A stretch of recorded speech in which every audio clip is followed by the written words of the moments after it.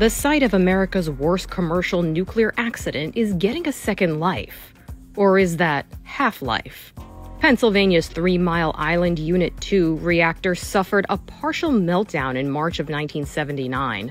Radiation was released into the environment, and the state's governor recommended an evacuation of pregnant women and children under age five.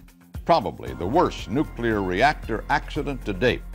In addition to the fear and panic, and an ongoing question over health effects, the accident at TMI also effectively put the growth of nuclear power in the U.S. on ice. But that was almost 50 years ago. Now, Microsoft wants to help restart Three Mile Island's functioning Unit 1 reactor to help power its data centers, used for artificial intelligence.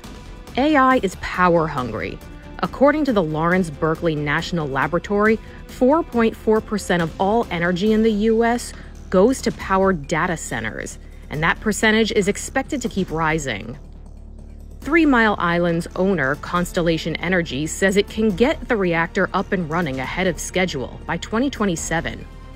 Constellation Energy President CEO Joe Dominguez says AI will be used to help operate the plant itself.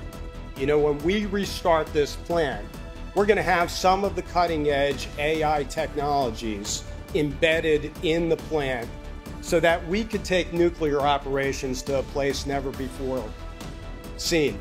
And while nuclear energy has its cheerleaders, like this former Miss America, when I say nuclear, you say energy. Nuclear!